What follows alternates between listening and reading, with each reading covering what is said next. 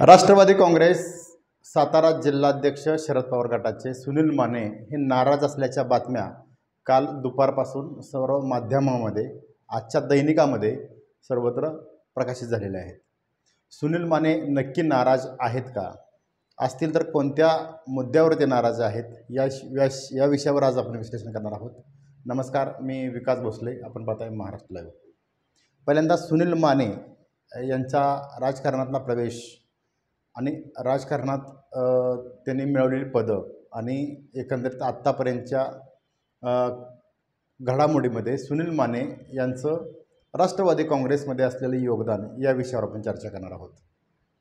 यानंतर खरंच सुनील माने नाराज आहेत का? आणि या विषयावर सुद्धा चर्चा करणार आहोत. असतील तर या नाराजाचा नक्की परिणाम काय होईल हे सुद्धा आपण पाहणार आहोत. सुनील माने सुनील गुलाबराव माने अत्यंत शांत संयमी आणि तेवढंच दिलखुलास व्यक्तिमत्व म्हणून रहमतपूर नगर परिषदेला गेल्या तीस वर्षापासून परिचित असलेलं या नगरपालिकेचं नेतृत्व करत असलेलं हे व्यक्तिमत्व.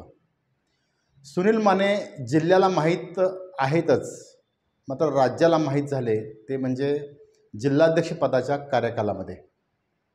म्हणजे राष्ट्रवादी काँग्रेसच्या जिल्हाध्यक्षपद ते जवळजवळ आठ वर्ष ते सध्या राष्ट्रवादी काँग्रेसचे जिल्हाध्यक्ष आहेत.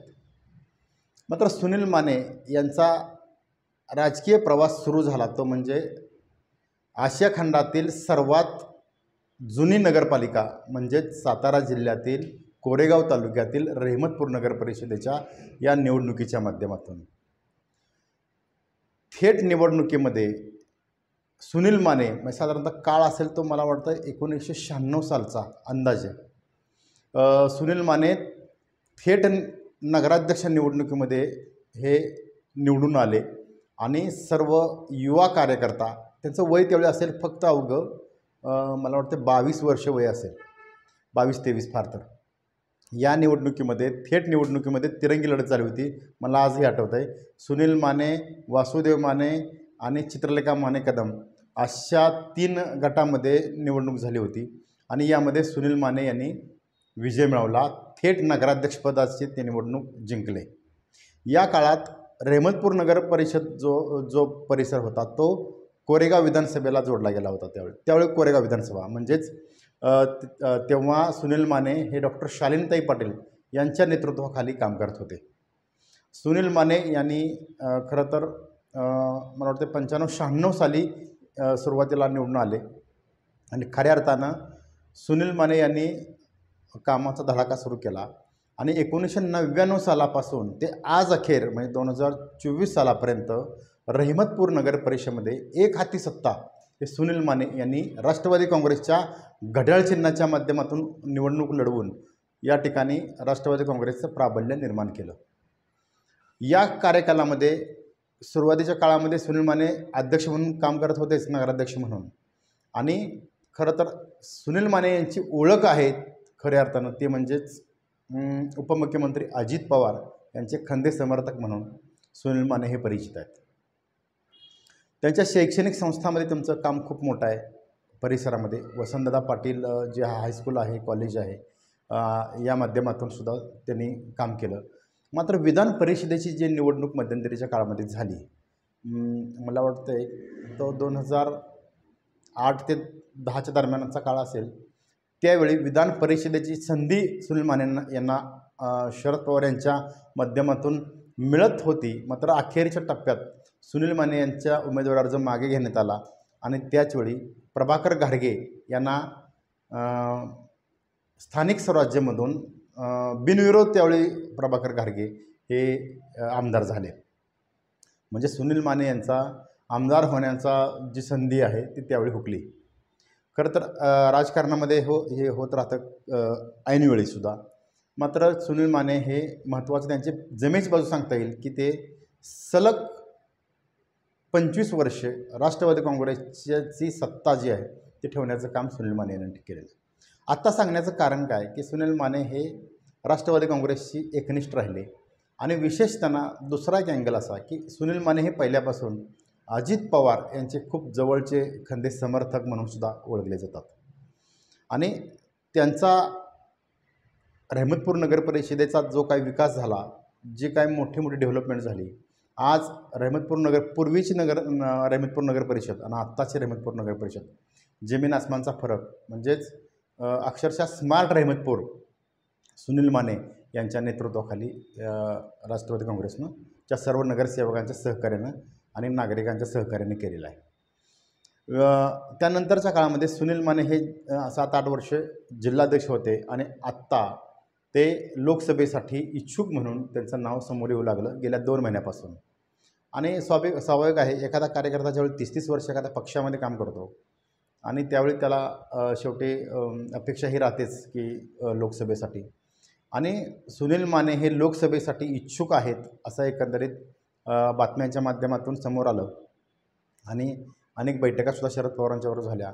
आणि तुम्ही पाहिलंसुद्धा असेल की महाविकास आघाडीच्या बैठकाच्या दरम्यान शरद पवार यांनी जे बोलावून घेतलं प्रमुख इच्छुकांना यामध्ये खासदार श्रीनिवास पाटील त्यानंतर सुनील माने आमदार बाळासाहेब पाटील आणि सत्यजित सिंह पाटणकर. हे सुद्धा हेलिकॉप्टरमधून शरद पवार यांची भेट घ्यायला गेले. आणि खूप अपेक्षा होत्या सुनील मानेंना सुद्धा की उमेदवारी मिळेल. मात्र राष्ट्रवादी काँग्रेसमध्ये अंतर्गत असलेल्या उमेदवारीसाठीची मोठी फाईट म्हणजे विशेषतः सारंग पाटील सुनील माने आणि सत्यजित सिंह पाटणकर. या तीन युवा कार्यकर्त्यांच्यामध्ये मोठी चुरस निर्माण झाली होती. या चुरशीमुळं इतका हे चुरस इतके टोकाला गेलेले आहे की अगदी एकमेकाच्या म्हणजे अत्यंत आक मिटिंगमध्ये अंतर्गत पेले पेल्यातलंच वादळ खरं तर हे. मात्र कसल्याही परिस्थितीत उमेदवारी मिळाली पाहिजे यामुळं शरद पवारांनी ह्या सर्वात तिघांनाही बाजूला ठेवून शशिकांत शिंदेसारखा पर्याय समोर काढला. असं बोललं जातं आहे आपण चर्चा करतो सुनील माने यांच्या. सुनील माने हे राष्ट्रवादी काँग्रेसमधून लोकसभेला इच्छ- इच्छुक होते आणि त्यामुळं त्यांना उमेदवारी शरद पवार यांनी यांनी नाकारली. यामुळं सुनील माने नाराज झाले. आणि कालच्या बैठकीला सुनील माने हे गैरहजर राहिले. आज सर्व माध्यमामध्ये दैनिकामध्ये बातम्या आहेत की सुनील माने नाराज आहेत. सुनील माने नाराज आहेत का तर नक्की आहेत. आणि त्यांची अपेक्षा होती की यावेळी लोकसभेची उमेदवारी ही नक्की मिळेल. शरद पवार आपल्यावर विश्वास टाकतील आणि या उमेदवाराच्या माध्यमातून आपण सोनं करू असं एकंदरीत त्यांना वाटत होतं. मात्र नाराजी हे होण्याचं कारण काय आहे? तर प्रमुख कारण म्हणजे शरद पवार यांच्यासमोर असलेला मोठा प्रश्न की तीन युवा नेते एक पाटणमधील एक कराडमधील आणि एक कराड उत्तरमधील म्हणजे पाटणमधील सत्यजितसिंह पाटणकर कराडमधील सारंग पाटील आणि कराड उत्तरमधील सुनील माने या तिघांच्यापैकी कुणाला उमेदवारी द्यायची? एकाला दिली तर एक नाराज. असा परिस्थिती होईल आणि विजयापर्यंत सातारा लोकसभामध्ये जाणं खूप मुश्किल होईल. हा प्रश्न शरद पवार यांच्यासमोर पडला असावा. यामुळे त्यांनी चौथा पर्याय काढला तो म्हणजे शशिकांत शिंदे यांच्या रूपानं. मात्र या पर्यायामुळं तिन्ही युवा नेत्यांची मात्र मोठी गोची झालेली दिसते. इकडं सुनील माने नाराज इकडं सारंग पाटील नाराज तिकडं सत्यजित सिंह पाटण आत्तापर्यंत म्हणत नसले नाराज नाही तरी अंतर्गत त्यांना वाटणारच की उमेदवारीच्या संदर्भातचं आपण हालचाल म्हणजे काय पवारसाहेबांनी न्याय दिला नाही.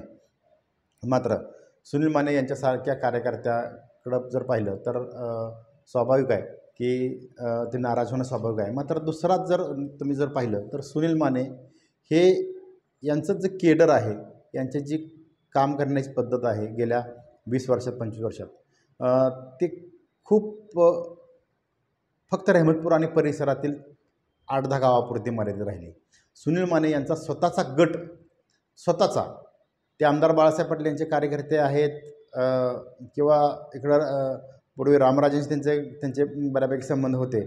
मात्र सुनील माने हे स्वतःचा केडर म्हणून उभं करण्यात खूप कमी पडले. हे सुद्धा नाकारून चालणार नाही.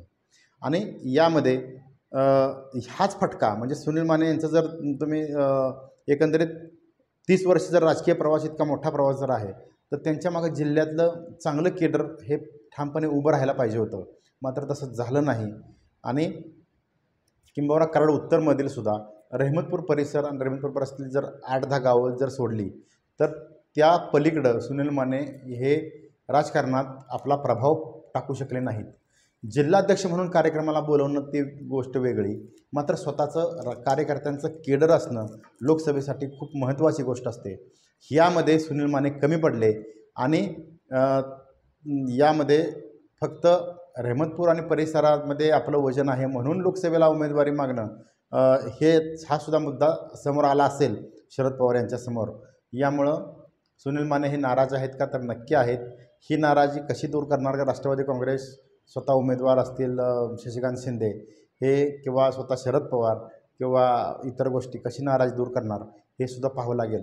मात्र एकंदरीत सुनील माने यांच्यासारख्या कार्यकर्त्यावर अन्याय झाला असा आरोप कार्यकर्ते जरी करत असले तरी लोकसभासारख्या एवढ्या मोठ्या सहा विधानसभा मतदारसंघाचं नेतृत्व करण्यासाठी असं लागणं असणं लागलेलं जे कार्यकर्त्यांचं पाठबळ हे त्यांच्याकडं नव्हतं हे सुद्धा पाहणं महत्त्वाचं आहे. आणि या उमद्या कार्यकर्त्याला पुढं मागं संधी मिळेल ही अपेक्षा करूया. पाहत राहा महाराष्ट्र लाईव्ह